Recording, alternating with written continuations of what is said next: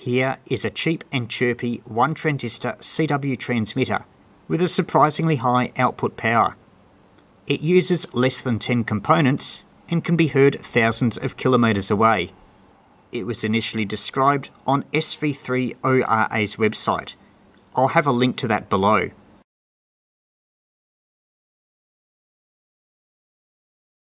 As you can see, the circuit is extremely simple.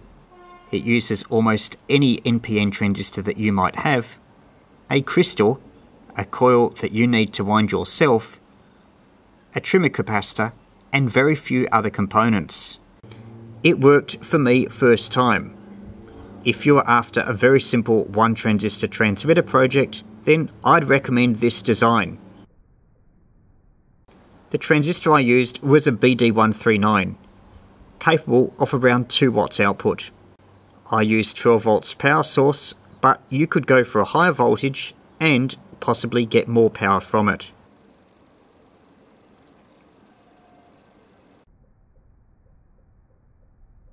You'll notice in this diagram the dots on the coils.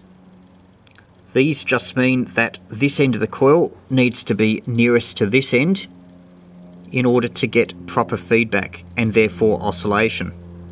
I was just happy to have two turns with a 50 ohm output. That's more convenient if you want to pass it through a low pass filter on its way to a 50 ohm impedance antenna. But if you're less worried about filtering and wanted to match a variety of antennas, then you'd have, as SV3ORA described, more turns and various taps so you could find the point that gives a best power transfer.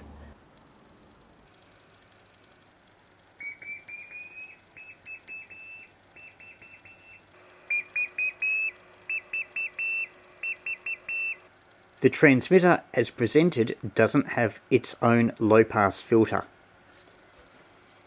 That's why I've added this one, described in a previous video. The hardest part of the construction is winding the coil.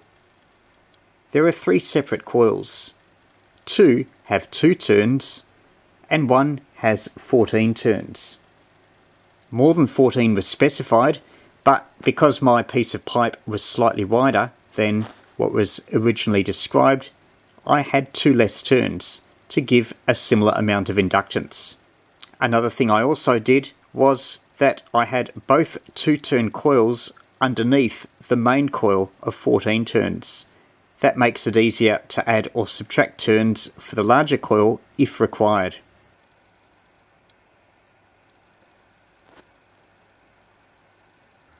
How much current does the transmitter draw?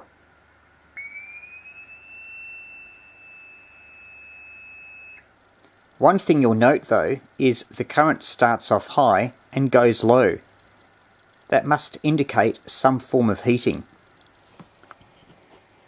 Just touching the transistor it isn't very hot and neither are the outer cases of the crystals but I suspect there's some sort of temperature variation somewhere, possibly inside the crystals. It might be worth substituting larger crystals which can accommodate higher currents to see if that effect is still there. You'll also note that I've put two crystals in parallel in an effort to divide the current between them. The power meter reads 2 watts full scale deflection.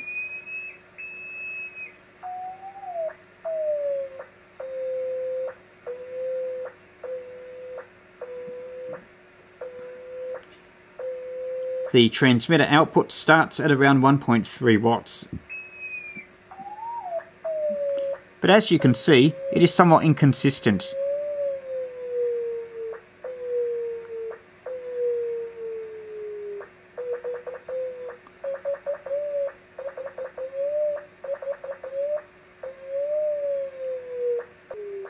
This may indicate some heating effect. The heatsink of the output transistor hardly gets warm and I can't feel anything on the crystals but there may be something internally that I don't know about. The frequency shift is an indication that not all is well. If you used bigger types of crystals, like older types, then that might give you a better note and more constant output power. This is the trimmer capacitor at close to minimum capacitance. When I screw the trimmer down so that capacitance is more, the output power tends to fall off. To see how far this transmitter goes, I tried various web SDRs.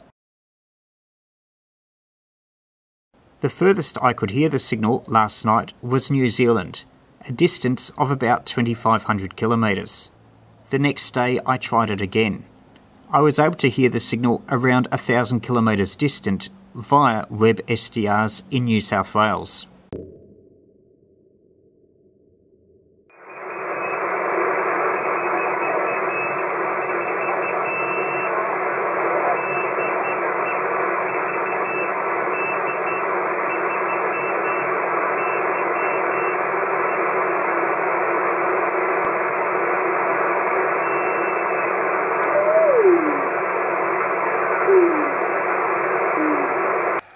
I've now connected a bigger crystal, HC6 size.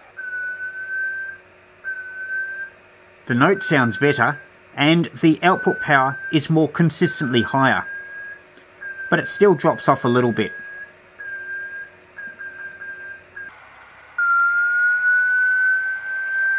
Current consumption is around 380 milliamps and a bit more consistent.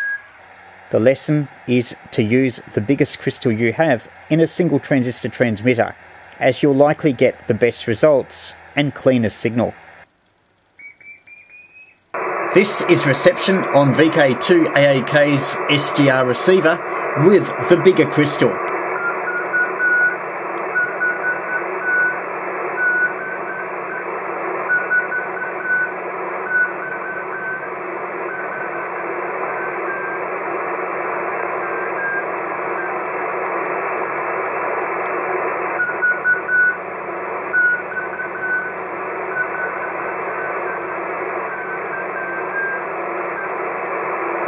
As you can hear, there's much less chirp, and the signal is good enough to use on the air.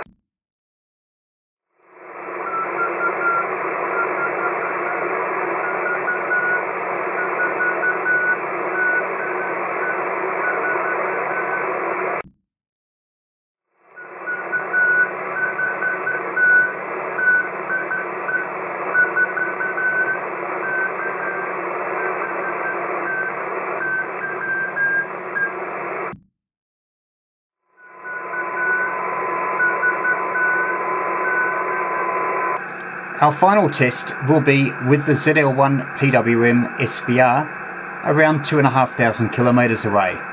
It's the early afternoon, not even 2 pm here or 4 pm in New Zealand.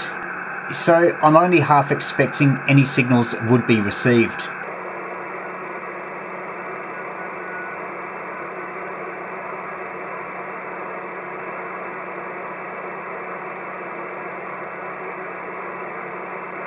This cheap and chirpy transmitter has been a fun project.